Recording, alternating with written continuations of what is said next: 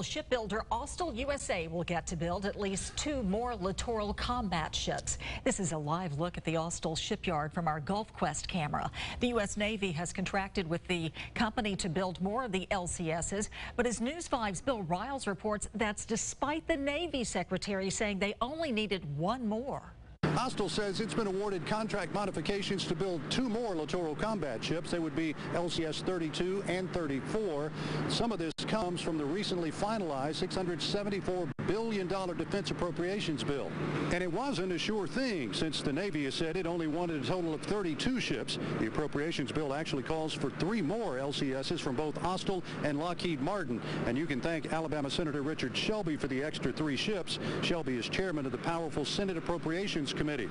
The new ships would be the 16th and 17th LCSs built by Austal and come in under the price cap set by Congress of $584 billion.